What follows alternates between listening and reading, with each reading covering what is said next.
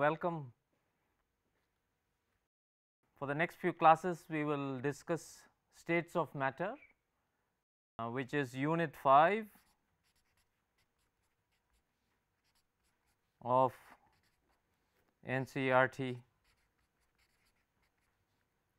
class 11 chemistry. In this unit, we will discuss mainly three things. One is intermolecular forces,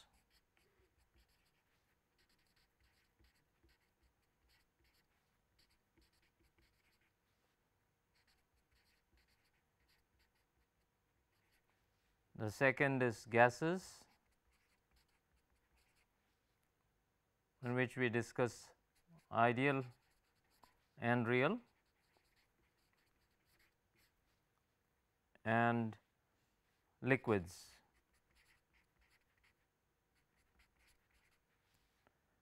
Solids is dealt with which is also a state of matter is dealt with in a different chapter, different unit whatever you want to call it. So, these are the three things that we will discuss intermolecular forces, gases and liquids. We start off by looking at some things around us. So, if you look at things around us what do we see? The first thing that we see is that we live in a blanket of the atmosphere. The atmosphere is composed of gases that is oxygen, nitrogen, carbon dioxide and if you happen to live in Delhi like I do then lots of other things which we will not concern ourselves with. So, the atmosphere is the state of matter that we see that is the atmosphere is a gas. Oxygen obviously is of great importance to us and our lives. The next most important thing in our lives is water. So, if you looked at around you or you walked into the kitchen then you find water, you find water elsewhere too. Water is one. The other thing that you will find in the kitchen is the oil and if you happen to have an automobile then you will probably be interested in gasoline.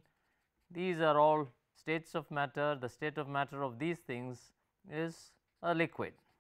But the predominant number of substances that we encounter in our daily lives for example, sugar which is a cause of lot of our problems in our health, salt and kitchen vessels for example, iron vessels etc. form are solids. So, these are what we call states of matter. These are the typically the three states of matter that we divide whatever we see around us into. But this division of what we see into three states is in some sense a convenience thing and you can't for example, you will have trouble if you have to give a very very strict definition of what constitutes a solid, liquid or gas. So, because the reason for this is that there are many exceptions to this definition, this characterization into solids, liquids or gas. For example, if you look at the window in many houses, this is made of glass. In appearance, glass appears to be a solid of a solid but in reality it is actually a supercooled liquid. What a supercooled liquid is is not something that we will worry about right now, but the reality is that glass although it looks to us like a solid is really not a solid. So, there is this problem of definition or characterization into solid liquids and gas based on what we see. So, what we need to do then is this characterization into solid liquids and gas is based on some principal characteristics. The principal characteristics are compressibility what is compressibility? If I took a substance and I applied pressure on it, a static pressure and how does the volume change?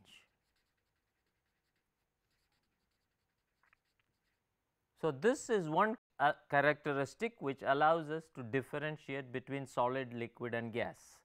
Compressibility that is the volume change that occurs when we apply pressure to a system, a state of matter in this particular case. The other thing that we look at the property on which this characterization goes is rigidity.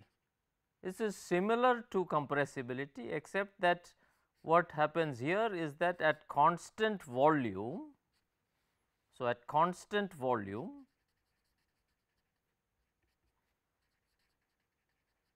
if you apply some kind of pressure which changes the shape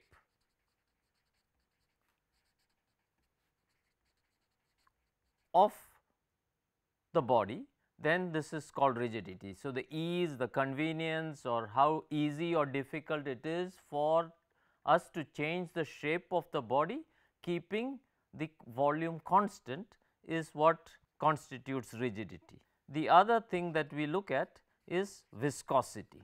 Viscosity is uh, the measure of resistance that a system has to change of shape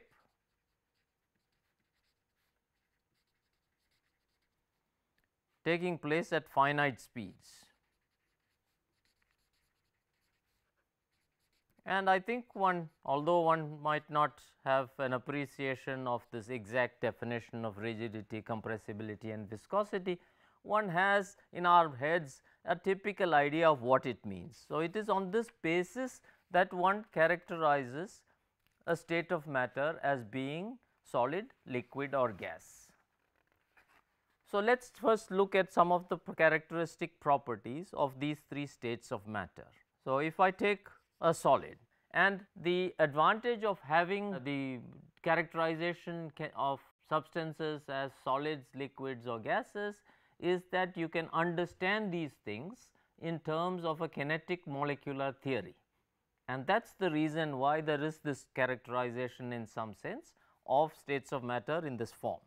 So, if I take a solid, the solid is rigid which means that if you apply a pressure on this, this does not change its shape very quickly. You take anything like this, you take a pen for example, if I it is very difficult for me to change the shape of this, unless I apply a lot of pressure. The second thing is that it has a fixed shape and it is not compressible.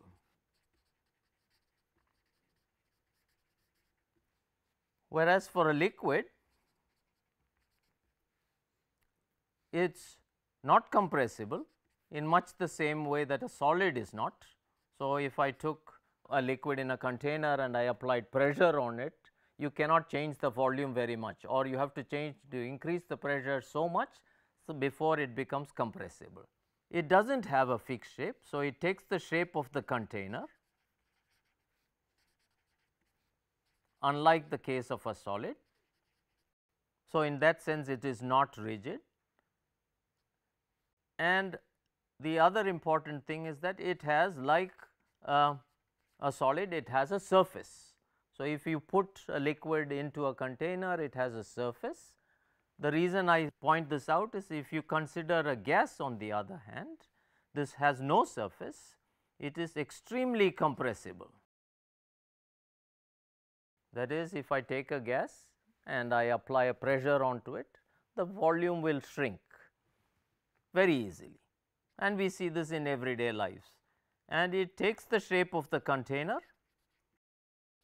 so, you can confine a gas into a container of any shape, but unlike a liquid it has no surface. This difference between a liquid and a gas having a surface or not a surface that is an interface is something which is of great importance because at the critical point whether it is a liquid or a gas is determined by whether there is a surface which differentiates the liquid from the gas. Okay, so, what we said is that we can understand this solids, liquids and gases in terms of a kinetic molecular theory. So, what is this kinetic molecular theory? For that let us try and draw a picture of what a solid would look like. So, I am drawing a two dimensional surface it can be you can make this into 3 dimensions and we are taking molecules to be structureless. Molecules are structureless circles call it. So, if you do it in 3 dimensions it would be spheres. So, here I am just drawing it as structureless circles. So, in a solid what happens is all the molecules are identical and they are packed together closely. So, I have something which looks like that. So, the things to notice is the molecules are in fixed positions.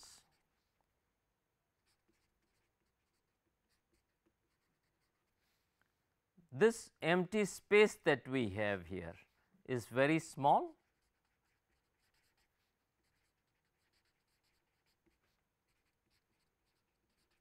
and this together in some sense characterizes how a solid behaves.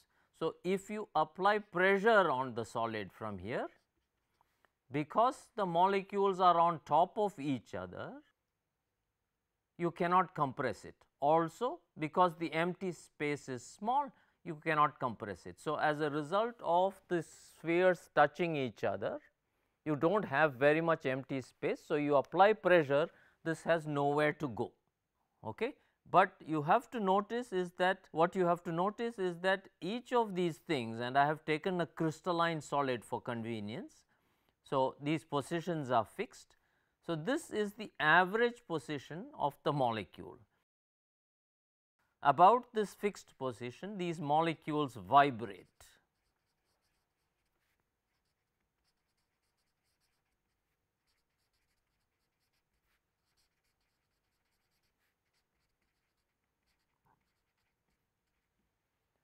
Now, if you raise the temperature then the extent of vibration of these molecules will increase. So, so they will be at the same position where they were at lower temperature, but the molecule vibrates more. So, about their fixed positions they vibrate more. This is the kinetic molecular picture of a solid. Now, on the other hand if you now consider a liquid it looks much the same.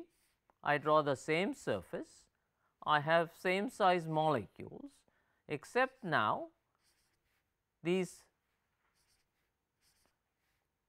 positions of these molecules are quite random. So, they are not at fixed positions, they are at random positions.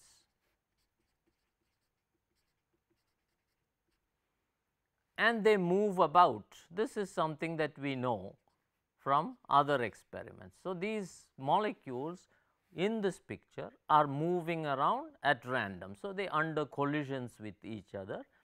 So, this is how we understand the kinetic molecular theory, the molecular picture of a liquid. The empty space although I have drawn it as it is very big is small. It is higher than that we have in a solid, but it is still relatively small the empty space is maybe in a liquid is about 3 percent larger than what you would have in a solid. And when these things move, if you have to apply, it is not easy for the molecules move past each other. So, if you have to get something to move, then you have to wriggle past one another as a result of which the viscosity is quite high. it is not high compared to a solid, but relative to a gas because these molecules have to slide past each other and wriggle past each other to for it to move like this viscosity is slightly high or little bit higher than what you would see in, in gases. Okay? But because the empty space is small and the molecules are more or less packed close together, it is not compressible.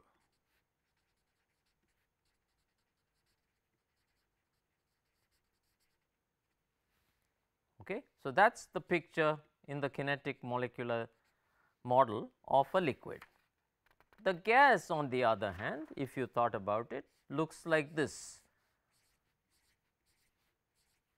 They are completely well, although in the picture it does not look random, the molecules are in random, there is lot of empty space.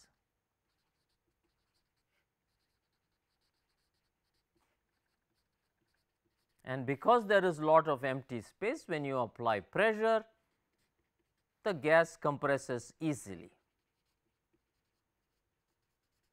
So, what we are now trying to figure out, so this is the kinetic molecular model of a gas and now what we need to figure out is why does a particular state of matter adopt the form that it is that it is the state it is in or why do different compounds exist in different states of matter. So, if you looked at it sugar is a solid at room temperature and pressure whereas water is a liquid and oxygen is a gas. Is it possible that we can understand why something is a solid, another is a liquid and a third is gas using this kinetic molecular model. For this one of the best ways to do right the exists of one of the best ways to do it is to take a particular substance let us say water and conduct some transformation to it. So, what we will do is we will take ice which is solid form of water that is water solid and we will do an experiment with it. We will take it in some container, we will take ice cubes and we provide heat to it. And we look at as a function of time or heat provided. So, if you are providing a fixed amount of heat for a particular amount of time, I can say either heat provided or time whichever it is and temperature. Let us think of what would happen. So, we start with ice at a temperature below its freezing point under normal pressure.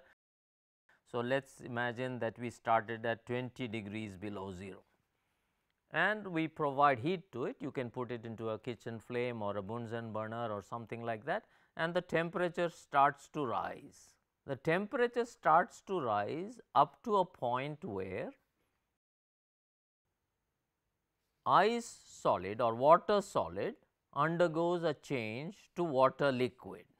So, the temperature continues to rise as heat is provided when up to the point where solid is purely in existence and when solid changes to liquid then the temperature becomes steady and this is the latent heat that we know of. At this point you need to provide more heat to convert all the solid into liquid. Until that happens the temperature becomes is constant. So, this is the latent heat.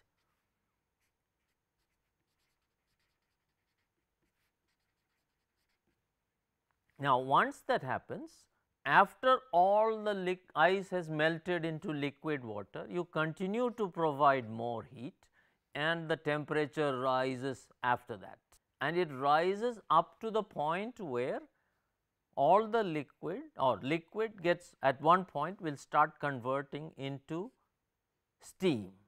When liquid gets converted into steam which happens at 0 Celsius under normal conditions, you will then again have a latent heat. The amount of heat that, that you have to provide in the case of water in this case is much higher than what you need to do. So, this horizontal portion is going to be longer and then after that once all the liquid has been converted into steam the temperature will again rise. So, this is what you would see this is at 100 that is a mistake. So, this is at 0 degrees yes that is correct of course yes.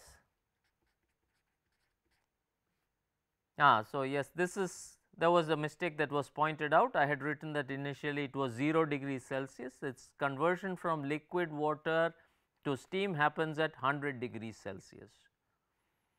Thank you. So, this conversion happens at 100 degrees Celsius at the normal temperature and pressure at sea level etc. Now, if you did the same experiment with some other substance. So, you took for example, salt or sugar or something like that you could do the same experiment provide more heat it will melt the temperatures will be different the curve will look the same qualitatively there will be one point where this breaks it becomes steady another point where it becomes steady and so on. So, what we are saying is for different substances whether you take water or you take something else, you take alcohol, you take oil, all of them will do similar things except that this point would be different and this point would be different and obviously this lengths will also be different. But the problem with having this characterization into solid, liquid and gas is that not all substances will do this kind of behavior. There are instances and that is where this problem of classification of solid, liquids and gas is a problem, because here in water or in alcohol or in something else these breaks are very clear, but you also find things which look like solids which do not have this this clear cut breaks. So, that is one of the reasons why you have this class problem with classification right. So, what happens we have already said in the kinetic molecular theory we said that if I started with here I have this like this and the model suggests that as I raise the temperature these things start to vibrate about their fixed positions. So, and even if I have a liquid then their motion becomes more and more violent as the temperature rises.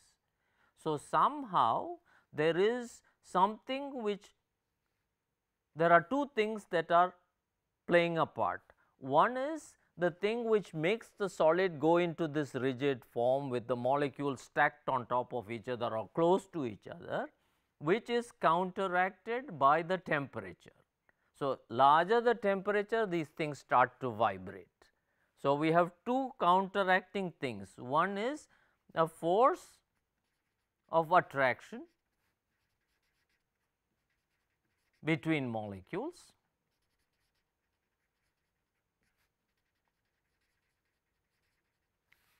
counteracted by the temperature. So, that is what we need to understand. So, the reason for understanding this force of attraction. So, we have two things. One is the force of attraction.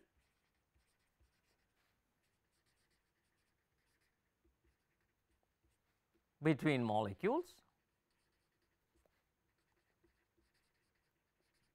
That keeps the solid or liquid together. And the temperature tries to throw them apart.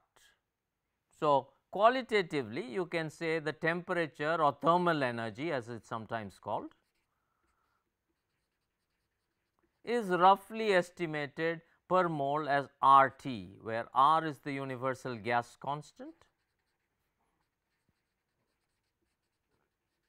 and T you could do it in um, Kelvin. So, if we have 8.314 joule per Kelvin per mole times 300 Kelvin that works out to be about two and a half kilojoules per mole at 300 Kelvin. That is a rough estimate that gives you what the thermal energy is and the force of attraction is what keeps the molecules together. So, if the temperature is higher than what keeps molecules together, then you will convert from solid to liquid to gas and the extent of the temperature will then determine whether it is a gas or a liquid. So, what we need to understand is what is this force of attraction that holds molecules together. So, this is the intermolecular forces of attraction.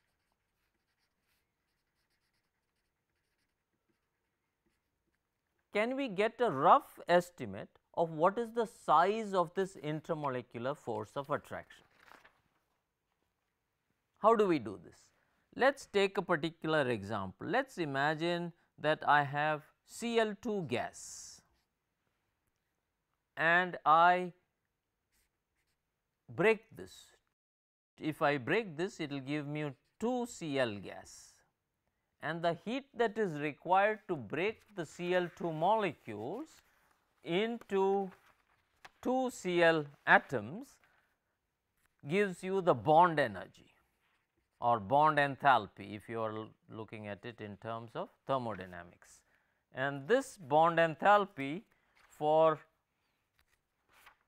Cl2 happens to be 242.4 kilojoules per mole. So, this is the typical covalent bond energy.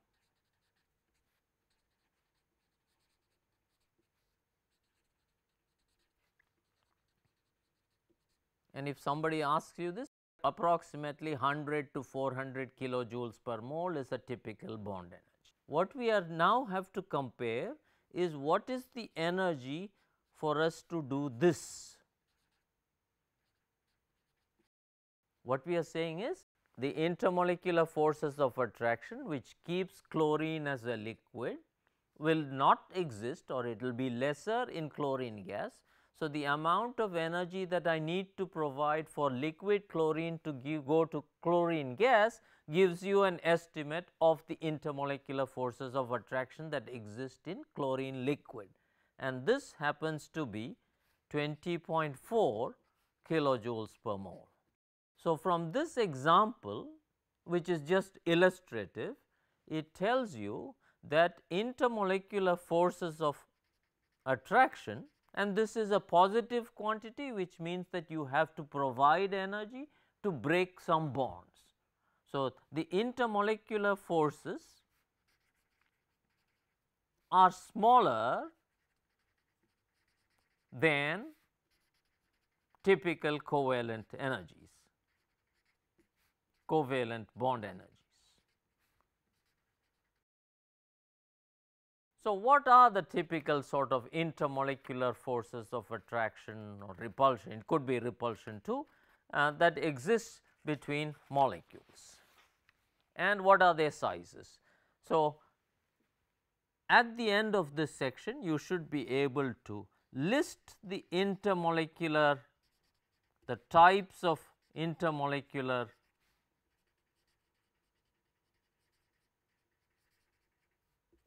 forces to identify in a molecule or series of molecules the kind of intermolecular force that is predominant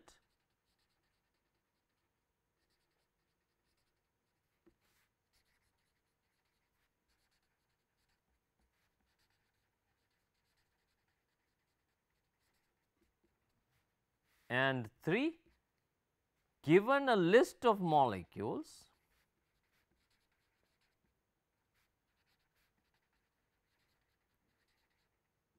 to arrange them in their correct order of some physical property.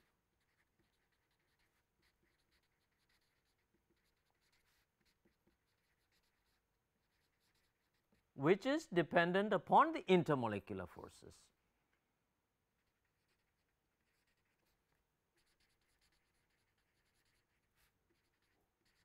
So, these are the three things at the very least that you should be able to do at the end of this unit on intermolecular forces.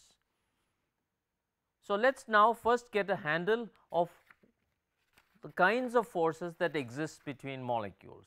So, this is the list and I will give you the strengths approximate strengths right away and then we will go into what these things are in a little bit more detail. Now, these are very very rough estimates. So, the thing that we already know of is ion ion interaction and as for example, you will find in sodium chloride solid. This is a relatively large interaction and it has typical values of 600 to 1000 kilojoules per mole. Now, when I write numbers like this, if you go and look at a book, you will find different numbers. So, do not get too worried about if the numbers do not exactly match what we are saying, we only need a rough estimate of this. So, this is the biggest interaction that one will see between two molecules. The next one that we have is hydrogen bond. If you are unable to figure out what hydrogen bond is that we will do by the end of when we finish this thing on intermolecular forces. This hydrogen bond the typical energies are 10 to about 40 kilojoules per mole.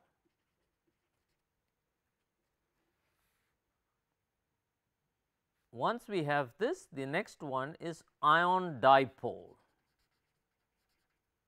So, an ion here interacting with a dipole and this ion dipole is of the order of 15 kilojoules per mole. So, we had ion and ion interacting with a dipole and you can just apply to your electrostatics a little bit. So, the next thing that we are likely to see is dipole dipole. And from now on it just follows exactly the way you would expect it to. Ion dipole dipole dipole and this is of the order of 2 kilojoules per mole. Now, one thing that you have to note is that the hydrogen bond is just an extreme case of a dipole dipole interaction but we classify it a little bit differently because its strength is different and it behaves a little bit differently. After this we have dipole induced dipole.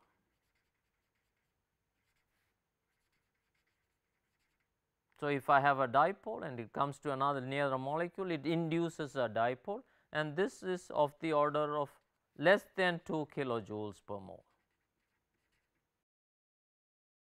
And last which is not very difficult to understand. So, I have gone ion, dipole, induced dipole and the next guess is induced dipole, induced dipole.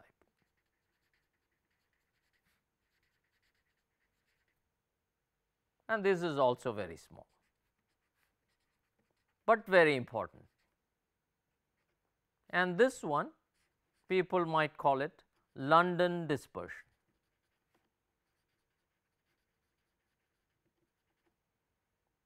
And often all three of these or all of them maybe the ion ion and the ion dipole excluded would be called van der Waals interaction by some people right. So, these are sometimes called van der Waals forces because van der Waals when he designed this equation of state he dealt with intermolecular interaction. So, this gives you a rough picture before we get into what it means, it gives you a rough picture of the sizes of interactions that exist within molecules in different states of matter. Okay. So, if you want an exercise, here is something that you could do. Given that we have this situation, let us look at, let us see if you can classify this. So, here are four substances argon, chlorine, methane and acetic acid. And we would like to arrange this in increasing order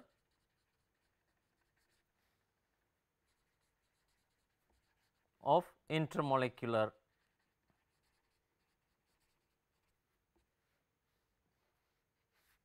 interactions. So, what do we need to do? This is the kind of thing that we expect that you would be able to do at the end of this unit. If you can do this now that is even fantastic. What do you need to do? We need to identify in a series of molecules in a series like this we have to identify which of them behaves like an ion, which of them has a dipole or whether it has a dipole or it does not have a dipole. Now, whether a dipole can be created that is it can be induced which will depend upon the polarizability, whether it has uh, a group which can hydrogen bond. These are the kinds of things that one would like to be able to do. So, given so this is a typical kind of question that we hope you would be able to answer after you have gone through this unit. So, with this thing let us move on to looking at the kinds of interactions. So, if I take sodium chloride in a solid. We already know its structure. So, it's we know the structure to be Na plus and Cl minus arranged in a particular crystalline lattice in cubic form. The electronegativity of chlorine and the reason it exists in this is that electronegativity of chlorine is 3.0 and the electronegativity of sodium is 0.9 which means that chlorine has a tendency to pick up an electron because this electronegativity value is high.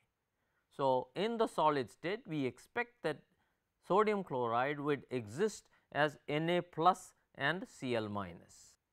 And when we have this situation we know from electrostatics there is a force or an energy of interaction which is given by q1 q2 over k r, where r is the distance between the two species q 1 q 2.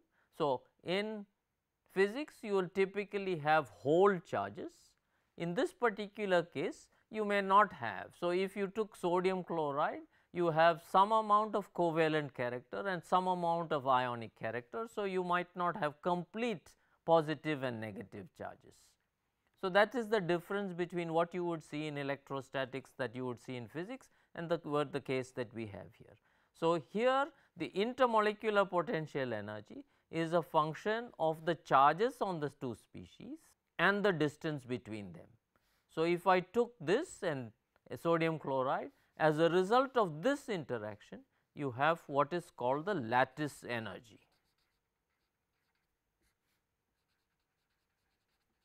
The lattice energy is the energy that sodium chloride has as a result of it being in a particular lattice and that arises primarily due to this electrostatic interaction.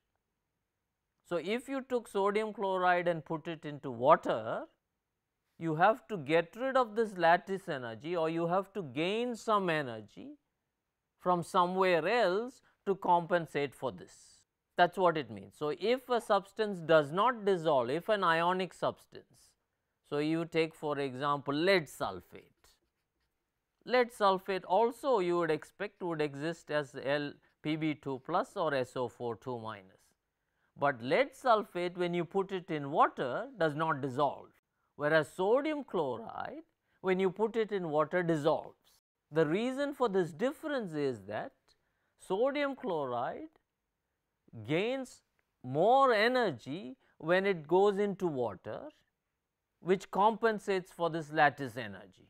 Whereas, lead sulphate there is not enough compensation that you get from when it goes into water. So, it stays as solid. So, the lattice energy is critically dependent upon the electrostatic interaction between these two ionic species. So, you can imagine if I go from NaCl to MgCl2, you expect that the lattice energy would be even higher. So, the first thing that so if you took a series of compounds, the lattice energy would be a function of the size of this ion and the charge of the ion right. So, what is a physical property which will reflect this? So, the one thing that will reflect this is melting point. So, what we are now saying is that if I look took a series of compounds and looked at their melting point, does it show a trend? And here is an example. You look at lithium fluoride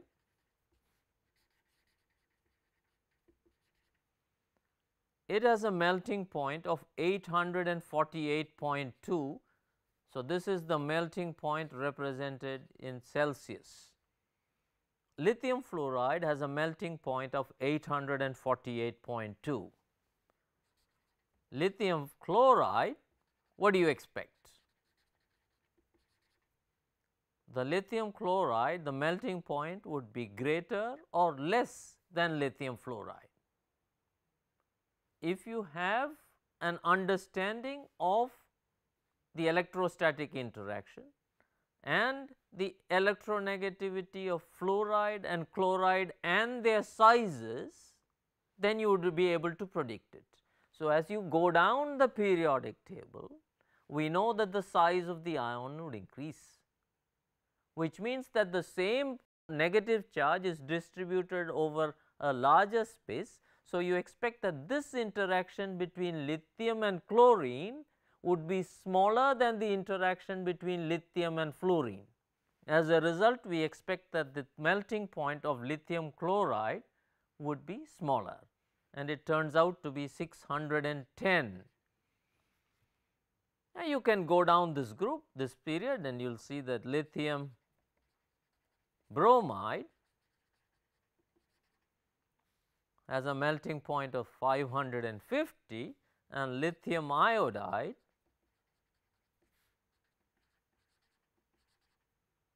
has a melting point of 469. So, here is a clear evidence that ion ion interaction decreasing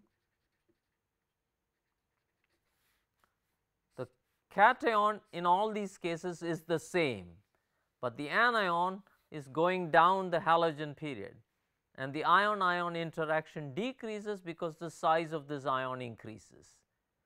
And so, this is a clear reflection that the ion inter ion interaction decreases as we go down this.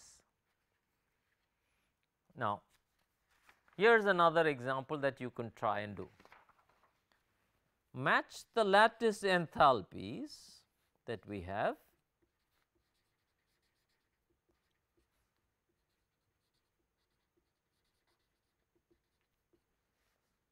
given on in the right column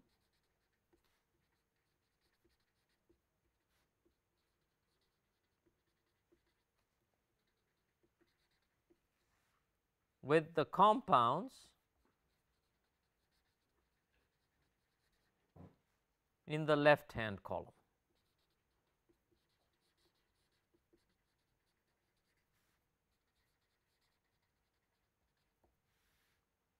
You should be able to do this now. So, here is the compounds on the left and here is the lattice energy that we know has been measured given in kilojoules per mole.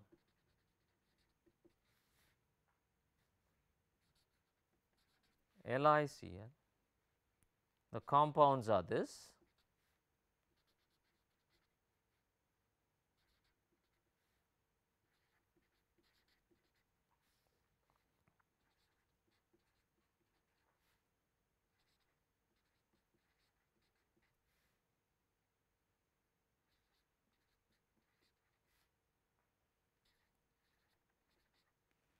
So, here are 4 compounds and uh, here are 4 lattice energies that we have measured and you should be able to match the compounds here with the lattice energies that were given here.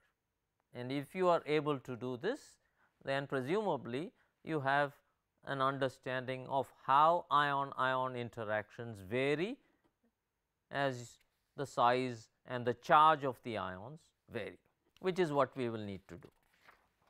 Now, the potential energy that we have of this electrostatic interaction.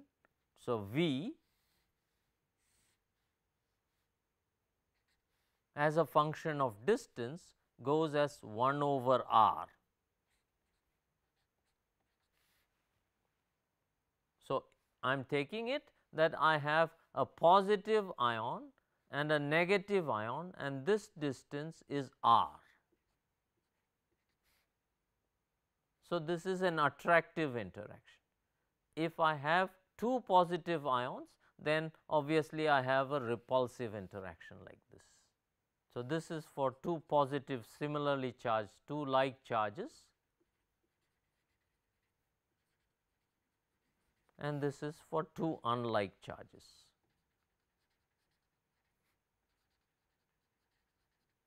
So, there is this attractive potential. What we are saying is that when we have intermolecular attractions and we look at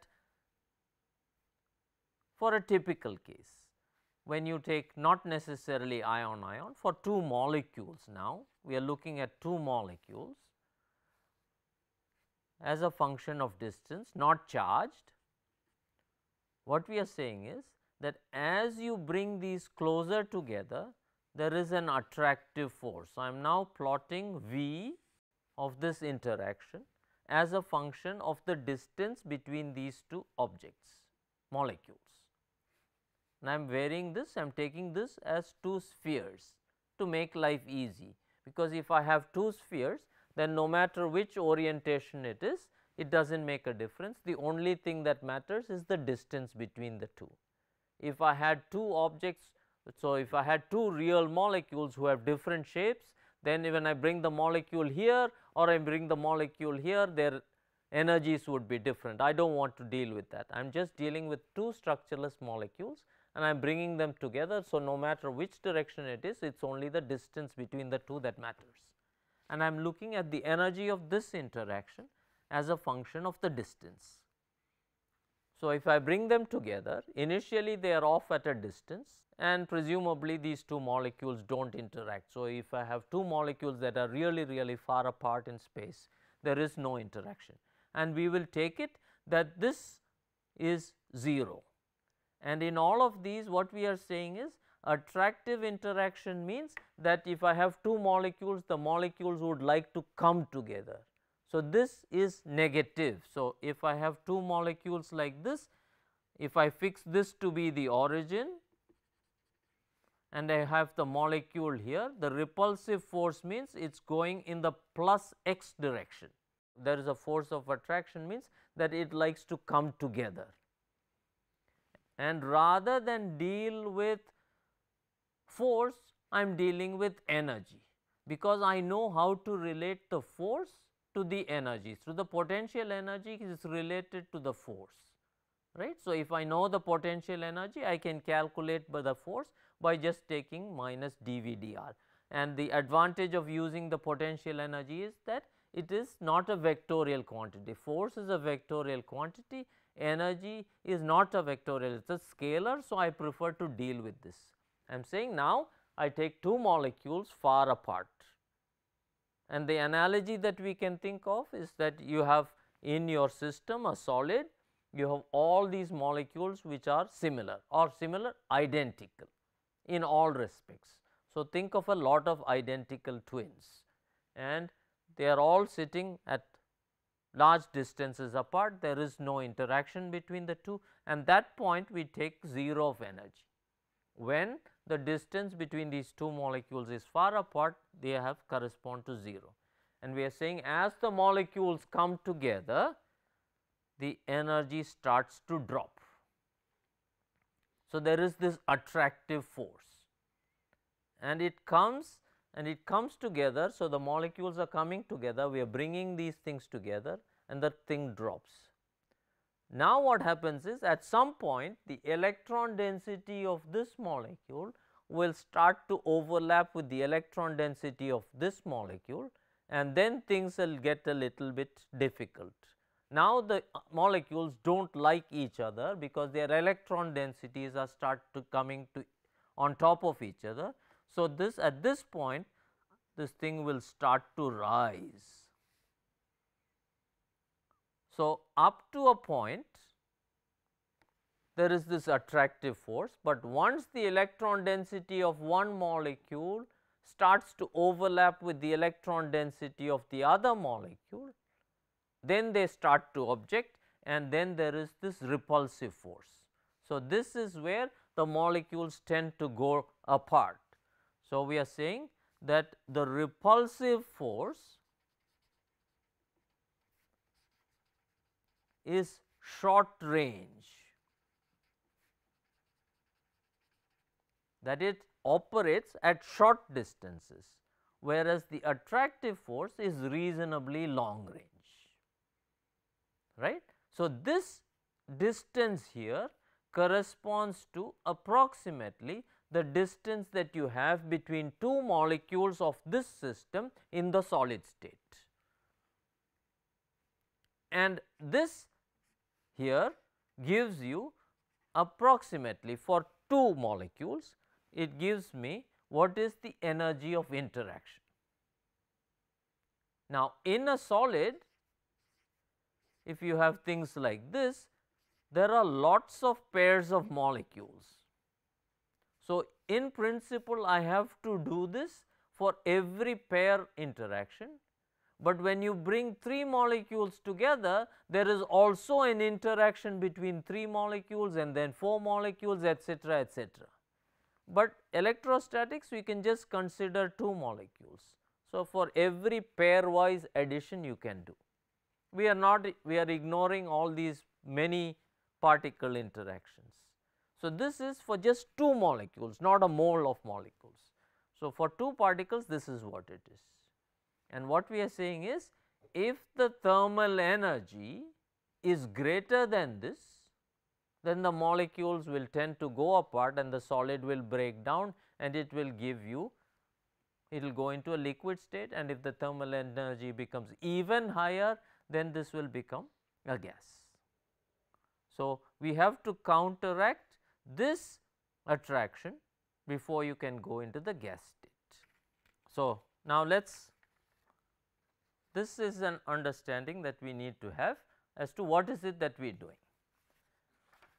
So, the first interaction that we have looked at is ion dipole. The next thing that we could look at ion dipole. We already discussed this. So, if I take sodium chloride and I put it in water.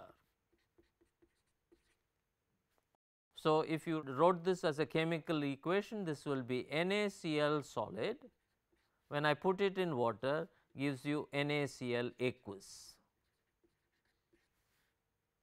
And what we said earlier is that to go from here to here the thing that keeps this together is the lattice energy. And when NaCl goes into water, what you are going to get is Na plus and Cl minus. So, if I have this, I will have Na plus like this and I will have molecules of water sitting around like this.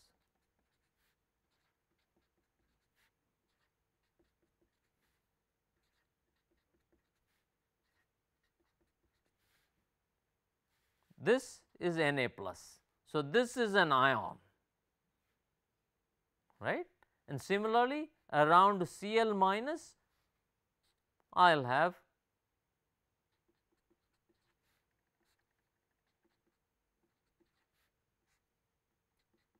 the same thing.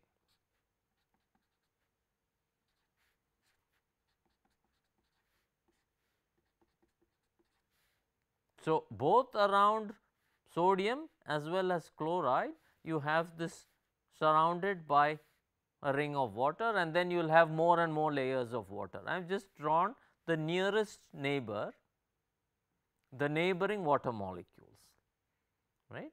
Now, we know that if you looked at water, there is this, there is also an electronegativity difference between oxygen and hydrogen. And this electronegativity difference is exactly like what you would have in the electronegativity difference here, but except that the difference is not as large. If the difference is not as large, you will create what is called a dipole here. There is a small negative charge here and a small positive charge here leads to a dipole which looks like that positive charge there. So, if I take one single bond if the electron density were equally divided between these two I will have some electron density which looks like this.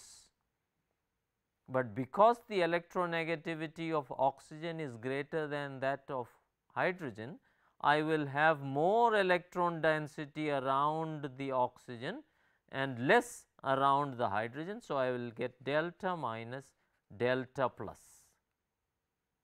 and when I have this it is a dipole and I have an ion here, I have a dipole here on this water molecule. So, you expect that there will be an interaction between ion and this dipole. This is an example of an ion dipole interaction and we will look at how this behaves as a function of the distance, as a function of the charge on the species and the size of the dipole in the next class. We can stop here now and in the next class we will go over the other intermolecular forces of interaction before we move on to gases. Thank you.